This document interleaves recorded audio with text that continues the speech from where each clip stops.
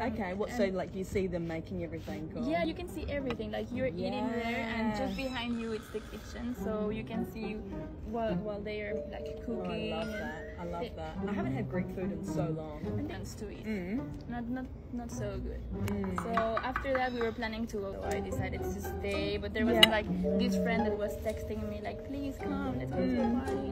Do you want a um, burger? Uh yeah.